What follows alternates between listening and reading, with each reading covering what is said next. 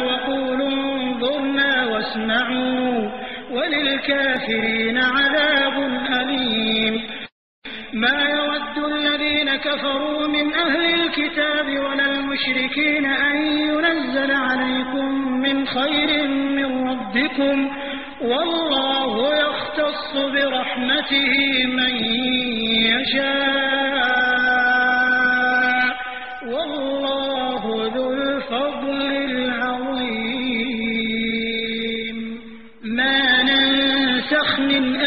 أو ننسها نأت بخير منها أو مثلها. ألم تعلم أن الله على كل شيء قدير؟ ألم تعلم أن الله له ملك السماوات والأرض وما لكم من دون الله من ولي ولا نصير؟ أم تريدون أن تسألوا رسولكم كما سئل موسى من قبل ومن يتبدل الكفر بالإيمان فقد ضل سواء السبيل. ود كثير من أهل الكتاب لو يردونكم من بعد إيمانكم كفارا حسدا حسدا من عند أنفسهم من بعد ما تبين لهم الحق. فاعفوا واصفحوا حتى يأتي الله بأمره. إن الله على كل شيء قدير. وأقيموا الصلاة وآتوا الزكاة. وما تقدموا لأنفسكم من خير تجدوه عند الله. إن الله بما تعملون بصير. وقالوا لن يدخل الجنة إلا من كان هودا أو نصارى تلك أمانيهم. قل هاتوا برهانكم إن كنتم صادقين. بلى من أسلم وجهه لله وهو محسن فله أجره عند ربه. فله أجره عند ربه ولا خوف عليهم ولا هم يحزنون. وقالت اليهود ليست النصارى على شيء. وقالت النصارى ليست اليهود على شيء وهم يتلون الكتاب. كذلك قال الذين لا يعلمون مثل قولهم فالله يحكم بينهم يوم القيامة فيما كانوا فيه يختلفون. ومن أظلم ممن منع مساجد الله أن يذكر فيها اسمه وسعى في خرابها. أولئك ما كان لهم أن يدخلوها إلا خائفين. لهم في الدنيا خزي ولهم في الآخرة عذاب عظيم. ولله المشرق والمغرب فأينما تولوا فثم وجه الله. إن الله واسع عليم. وقالوا اتخذ الله ولدا. سبحانه من له ما في السماوات والأرض كل له قانتون. بديع السماوات والأرض. وإذا قضى أمرا فإنما يقول له كن فيكون. وقال الذين لا يعلمون لولا يكلمنا الله أو تأتينا آية. كذلك قال الذين من قبلهم مثل قولهم تشابهت قلوبهم. قد بينا الآيات لقوم يوقنون. أرسلناك بالحق بشيرا ونذيرا ولا تسأل عن أصحاب الجحيم ولن ترضى عنك اليهود ولا النصارى حتى تتبع ملتهم. قل إن هدى الله هو الهدى. ولئن اتبعت أهواءهم بعد الذي جاءك من العلم ما لك من الله من ولي ولا نصير. الذين يتلونه حق تلاوته أولئك يؤمنون به ومن يكفر به فأولئك هم الخاسرون. يا بني إسرائيل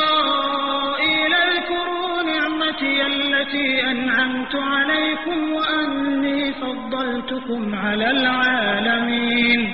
واتقوا يوما لا تجزي نفس عن نفس شيئا ولا يقبل منها عدل ولا تنفعها شفاعة ولا تنفعها شفاعة ولا هم ينصرون. وإذ ابتلى إبراهيم أتمهن قال إني جاعلك للناس إماما. قال ومن ذريتي؟ قال لا ينال عهد الظالمين. وإذ جعلنا البيت مثابة للناس وأمنا.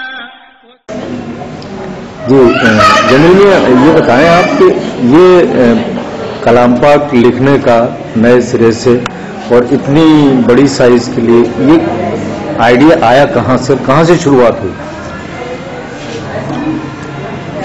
دنیا میں بے شمار لوگوں نے قرآن مجید لکھے ہیں۔ چھوٹے سائز کے بھی، کچھ بڑے سائز کے بھی اور خوب چھپتے رہتے ہیں۔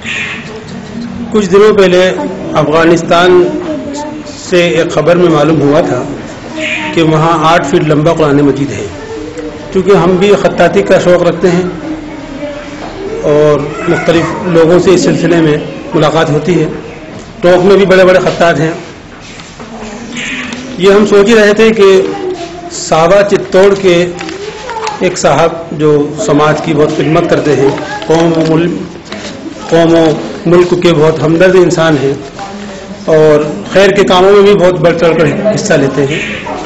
ان کی طرف سے ایک پیغام ملا کہ مجھے قرآن مجید بڑے سائز کا لکھوانا ہے، آپ ساوا چتوڑ آئیے انہیں کے ایک صاحب ناظم صاحب کی معرفت میں ساوا چتوڑ حاضر ہوا۔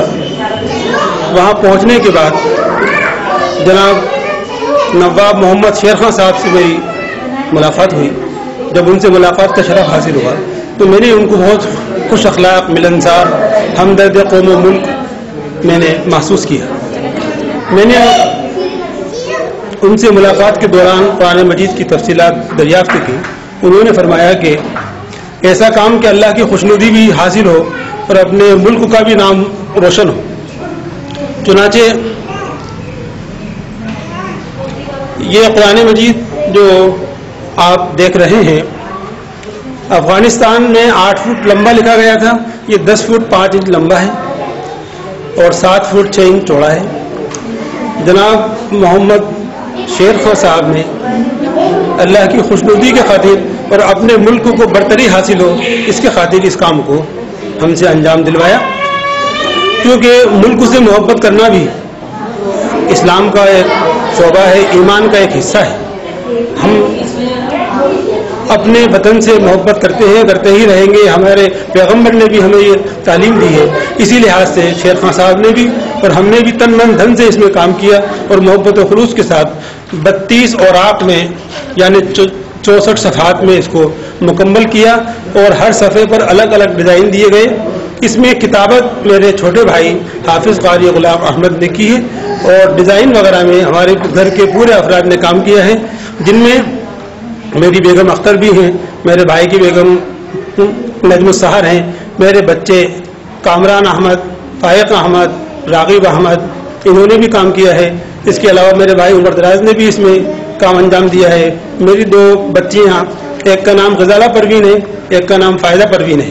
انہوں نے بھی اس میں نقش و نگار میں کام کیا ہے۔ میں نے ایک ٹیم بنا کر اس کام کو انجام دیا۔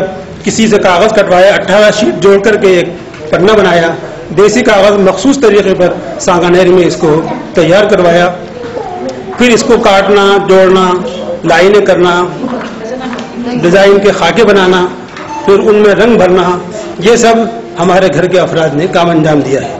اس میں جناب خورشید صاحب، جناب ظفر رضا صاحب، جناب ناظم صاحب، ان کے بھی مشورے شامل ہیں۔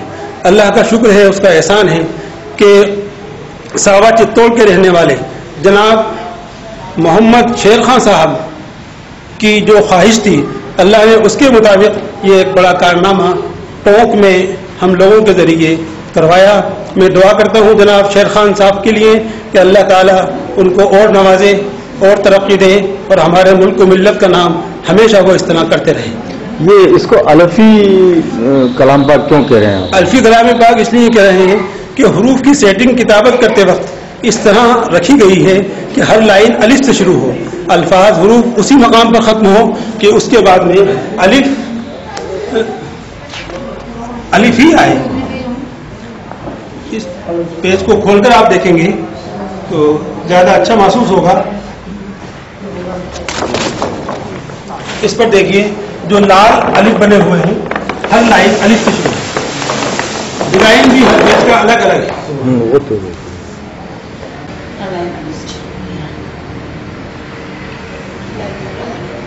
جی بولیے۔ بہت خدمت کرتے رہتے ہیں اور ہمارے ملک و قوم کے لیے ہمیشہ وہ سوچتے رہتے ہیں۔ بولتے رہے۔ آپ کی شخصیت لائق تعریف ہے اور مبارکباد کے لائق ہے کہ آپ نے ہمارے ہندوستان کا نام بھی اونچا کیا ہمارے ٹونک کا نام بھی اونچا کیا ٹونک کے خطاب کا نام بھی اونچا کیا۔ اللہ تعالیٰ ان کی عمر میں برکت ادا فرمائے اور ان کو خوب خوب نوازے۔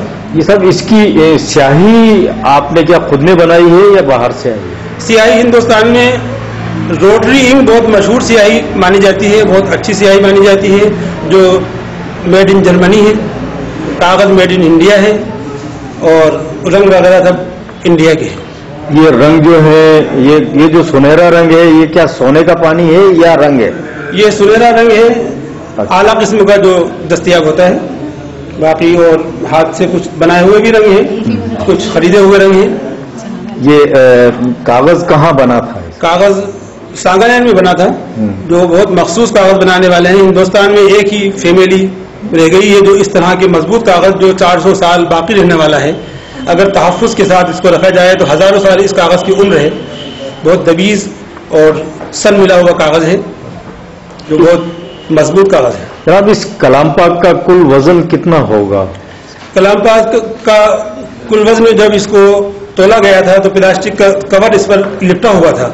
اس کے ساتھ دو سو ساٹھ کلو ہوا تھا۔ اگر اس کور کا ایک اندازے سے وزن ہٹا دیں تو دو سو پچاس کلو سے تو اوپر وزن ہے اس کا۔ اس میں سنا ہے چاندی کا بھی آپ نے کام میں لیا تو چاندی کہاں جی کام اس میں کے جلد کو خوبصورت بنانے کے لیے چاندی کے پتھر بنوائے اور ان پر نقش و نگار کے طریقے سے کٹوایا گیا۔ کٹنگ کروانے کے بعد چاروں کونوں پر ان کو نصب کیا گیا ہے تاکہ کو- کونے بھی محفوظ رہیں اور ایک چاندی کی پلیٹ پر سونے کی پالش کروا کر قرآن مجید کا نام اور جناب نواب محمد شیر خان صاحب کا اسم گرامی اس پر کندہ کروایا گیا ہے تاکہ صدیوں تک یہ باقی رہے اور لوگ لوگوں کی تشویق و ترغیب کے لیے بھی کام آئے۔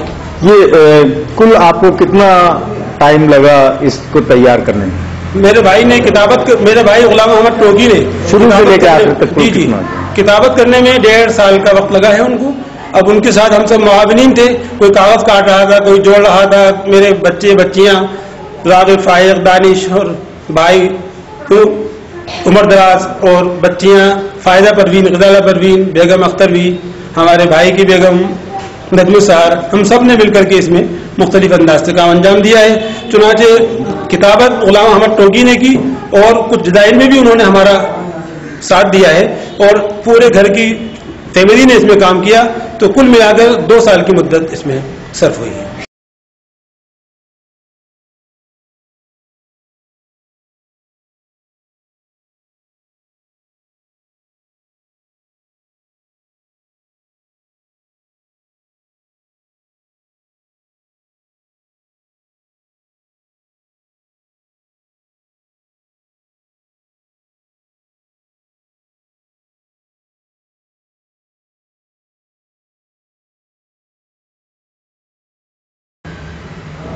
ڈاکٹر صاحب، آپ کے یہاں پر سنستھان میں دنیا کا سب سے بڑا کلام پاک ایگزیبیشن میں رکھا ہوا ہے۔ یہ کلام پاک ٹونک میں ہی کیوں لکھا گیا؟ اور اس ادارے سے اس کا کیا تعلق ہے؟ ذرا اس پر آپ غور فرمائیں۔ یہ ایسا ہے کہ ہندوستان کے جو سب سے بڑے کیلیگرافسٹ تھے خلیق ٹوکی وہ وہ یہیں کے ہیں ٹوک کے۔ اور کیلیگرافی کا سلسلہ برسوں سے یہاں پر چل رہا ہے۔ یہ پی آر آئی جب سے قائم ہوئی ہے، تب سے یہ سلسلہ کافی اور کافی اسٹوڈنٹ اس کے لیے تیار کیے گئے ہیں۔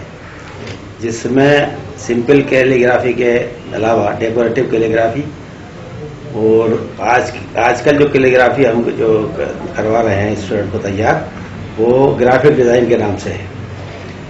تو یہاں کیلیگرافسٹ اسی انسٹیٹیوٹ کے تیار کیے ہوئے ہیں اور آج بھی یہ سلسلہ یہاں چل رہا ہے۔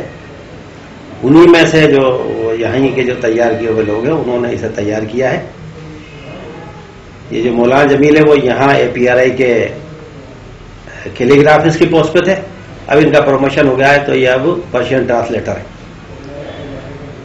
ان کے بھائی غلام احمد صاحب، ان کا یہاں سے تعلق ہے۔ اور صرف کیلیگرافی نہیں، بلکہ جو بائنڈر ہیں، جو بائنڈنگ کی گئی ہے، جو پیج بنائے گئے ہیں اس کے، دس دس فٹ، پانچ انچ کے جو پیج بنائے ہوئے ہیں، لمبے، وہ ساڑھے سات فٹ چھوڑے یہ بھی ہمارے یہاں کے بائنڈر جو ہیں، رشید رشید بیگ صاحب وہ سلیم انہوں نے تیار کی ہیں۔ اس کی بائنڈنگ کا کام بھی یہیں سے ہوا ہے۔ اس میں جو مشورے ہیں، وہ ہمارے یہاں کے کیلیگرافسٹ خورشید عالم صاحب، جو ہندوستان کے بڑے کیلیگرافسٹ ہیں، اور ظفر رضا صاحب ان کے اس میں مشورے رہے ہیں۔ تو اس کا پورا جو ہے تعلق یہیں سے ہے، لیکن اس کی سوچ جو بنوانے کی تھی، وہ تھی شیر خان، جو چتوڑ گڑھ ساوا کے رہنے والے۔ ہیں وہ ان کا یہ کام رہا ہے کہ وہ قرآن اور حدیث کی کتابیں لکھوا کے لوگوں میں تقسیم کرتے ہیں۔ اسی سوچ کے تحت انہیں یہ بات ان سے جب کہی گئی تو وہ فوراً تیار ہو گئے۔ وہ لاکھوں روپیہ خرچ کر کے انہوں نے یہ تیار کروایا۔ اب یہاں پر میرا یہ تھا کہ کیونکہ یہ دنیا کا بہت بڑا ادارہ ہے، ورلڈ فیم کی جگہ ہے، اگر اس کی ایگزیبیشن یہاں ہوگی تو پوری دنیا کو اس کے بارے میں پتہ چلے گا۔ کیونکہ اتنا بڑا قرآن ابھی تک دنیا میں کہیں نہیں ہے۔ تو اسی وجہ سے یہاں رکھی گئی ہے۔ آپ دیکھ رہے ہیں کہ نہ صرف جے پور، گجرات دور دور مقامات سے یہاں پر اسے لوگ دیکھنے آ رہے ہیں۔ وہ صرف تین دن کے لیے یہ نمائش کی گئی تھی، لیکن اسے کنٹینیو کیا جا رہا ہے کیونکہ اتنا رش ہے یہاں دیکھنے والوں کا کہ اس کو ختم کرنا ممکن نہیں ہے۔ اس وجہ سے انشاءاللہ یہ یہ یہ جو ہے چلتی رہے گی، لوگ آتے رہیں گے اور اسے دیکھتے رہیں گے۔